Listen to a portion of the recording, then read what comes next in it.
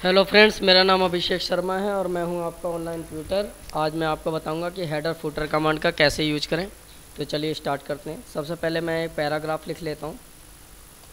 और पैराग्राफ लिखने के बाद मैं यहाँ पे हेडर फुटर कमांड चलाना चाहता हूँ। तो हेडर फुटर का सिलेक्शन करेंगे। तो हेडर पर जब क्लिक करेंगे तो हेडर हेडर के ऑप्शन आएँगे। आप ऐसा हेडर ले सकते हैं, ऐसा हेडर ले सकते हैं। और अभी दो एक सर्च भी कर रहा है। ऐसा हेडर भी ले सकते हैं और ऐसा हेडर भी ले सकते हैं। जैसा हेडर चाहिए उस पर क्लिक करेंगे।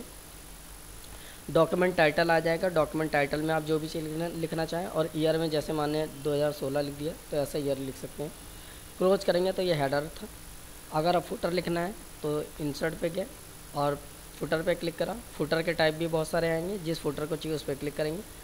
टाइपिंग टेस्ट में यहाँ पे टाइप टेस्ट में आप लिख सकते हैं। जो भी व्यक्ति बना रहे हैं। प्रोजेक्ट। पेज नंबर ऑटोमेटिक आ रहा है। ऐसे ही अब गए तो यहाँ पे डॉक्यूमेंट टाइटल भी ले सकते हैं। चलो मैं डॉक्यूमेंट टाइटल भी लिख देता हूँ।